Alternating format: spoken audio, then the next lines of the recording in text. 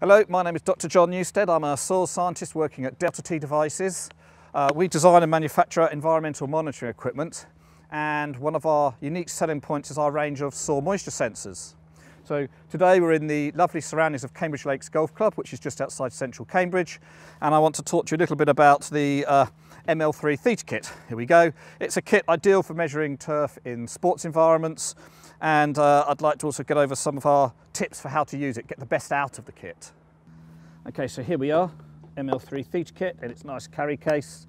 Comes with a range of manuals and we have the HH2 handheld portable meter.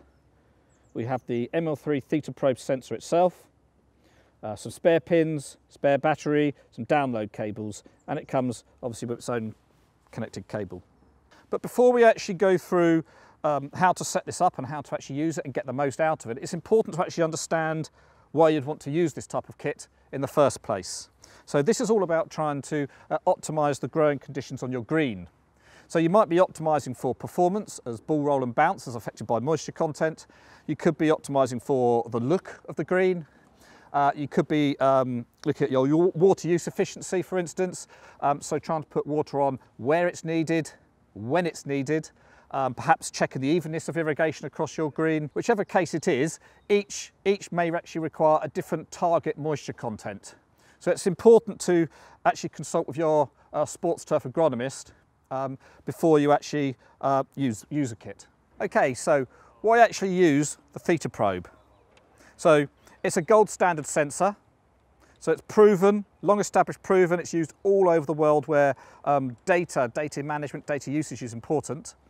Um, it's very easy to, to, insert into turf. It's got uh, four sharp little pins. Okay, these insert easily into um, turf. Uh, I think are much better than having fat chunky pins uh, for that purpose. Um, it's a very lightweight sensor. It's very robust and it's very robust because the origins of this were in research. It's been used in some really quite extreme environments. So we can now take that into the sort of sports turf and it seems to work very well. Um, it, as I'm going to show you in a moment, it's very easy to use. It's very easy to train with. You can just go out, take a few, send someone out, take a few measurements, job done. Um, and importantly, this also comes with a five-year warranty. So when you consider all those things put together, I think this is easy to use, reliable, robust, five-year warranty. It's a very hard package to actually beat. Okay, so before we actually go out onto the green and use the uh, ML3 Theta kit, we actually need to just quickly set up the HH2 handheld portable meter. This is a really straightforward process. Uh, I'm just going to show you here on camera. Hopefully you can actually see that screen. First thing we do is switch it on by pressing escape. Then we need to tell it we're going to use the ML3 Theta probe, the sensor. So we press set, scroll down to device, set, and then on this is a list of all the sensors that Delta T have got programmed in here. And we are looking for ML3. There we go. You press set. Then we tell it what calibration we want. Well, we want to use mineral calibration. So we go to soil type. It's already been programmed on this case, so we press set. Then importantly, you've got to tell it what you want to actually display. And in this case, we're going to scroll down to the display we want volumetric moisture content. Okay, so we'll press set. And that's it, very straightforward, it's very simple. You don't need to do that again, and you can go out now into the field and take readings. Okay, so let's take a reading. So we've obviously already set up our HH2 handheld portable meter. We want to insert the sensor pins all the way into the soil, very straightforward, and then we press read. Okay, and that will give you your soil moisture value. But when doing this, it's very important to uh, understand that the pins need to be fully inserted. So just to the right of the meter here, I've got uh, an ML3 probe that I've only inserted halfway. I'm now going to press read. And it says 16.2% volumetric moisture content. So 16.2% of the volume being sampled is water. Then we push it in so that the pins are fully inserted but the sensor is just resting on the soil surface. And we'll press read again, we'll just clear that screen. We could have stored it, you notice there was a store option. Press read, and it suddenly says 21.6%. So that in my mind is the actual reading. Now often, if you push further, Let me just push down a bit more. You can hear me straining there. And then press read again. We don't need to save that. And you can see it's changed. This volumetric moisture content now says 22.7. Often you might get a dramatically different reading. And that's because if you push in too hard, okay, you've forced in that sensor, um, you are actually compressing and changing the way the, the soil is organised underneath the turf. And that's what you don't want to do. You want to know what the actual moisture content is as it is in its natural state without being interfered with. So get the protocol right. Push your pins in so that the, sense, the pins are fully inserted and the sensor is just resting on the soil surface. Don't force it in any more than you need to, but don't leave the pins exposed to air. Another important consideration at this point is when you've taken your reading, and you do that simply by just pressing read at this stage, is when you withdraw the probe.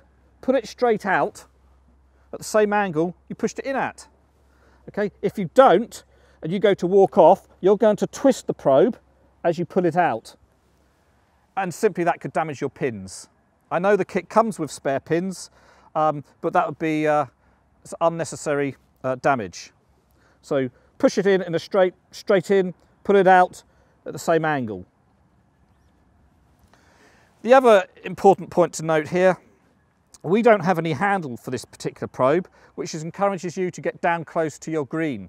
And I think this is a very important point because I think we spend too much of our time distancing ourselves from the green. When you push this probe in, you can feel the green. You can feel uh, some of its, how it's performing. And this is helping you to understand your green, understand, to characterize your green. Being more hands-on, I think, is a really good thing. When using a, uh, an ML3 Theta kit, it's very important before you go out onto your green to work out your sampling strategy because you have a whole range of options. You could sample in a transect. That means taking readings across from one side to the other at various points on your green. You could use a W pattern and just sample in a W pattern to try and understand the distribution nature of, wa of water um, across your greens. You could, of course, just separate your green up into grids, which I think a lot of agronomists do. Um, alternatively, you could just sample areas of interest. But because this is such an important part of uh, sampling, uh, my advice would be always go and speak to your sports turf agronomist first, then go out onto the green with your kit. Okay, so let's just briefly summarise. The ML3 Theta kit, it gives you accurate, reliable and robust data. But it's very important to realise that this does not make the management decisions for you. Okay, This empowers you to make better management decisions. Okay, so reliable, robust, accurate, but it is empowering you to make better management decisions.